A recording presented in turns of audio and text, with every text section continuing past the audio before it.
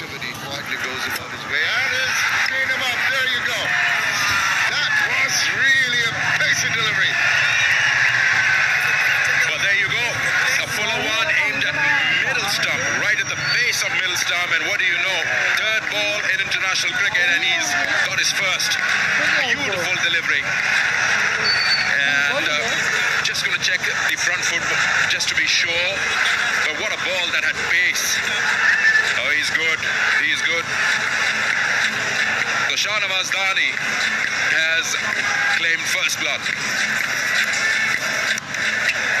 No problems with that. Didn't know very much about it. Just there or thereabouts.